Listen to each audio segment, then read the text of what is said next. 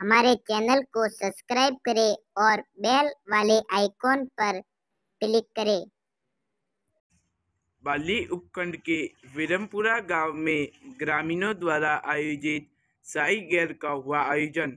बाली उपखंड के विरमपुरा गाँव में ग्रामीणों द्वारा साई गैर का आयोजन हुआ।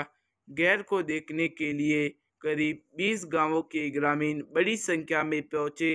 गैर नृत्य में गैरियों ने राजस्थानी वेशभूषा पहन, पावों में घुंघरू, माथे पर साफा, धोती अंगरखी पहने युवाओं ने हाथों में रंग बिरंगी डिंडुली लेकर गैरियों ने अपने अलग अलग अंदाज में गैर नृत्य कर ग्रामीणों का मनमोहा गैरियों को उत्साहवर्धन करने के लिए गैरियों को माला भी पहनाएगी।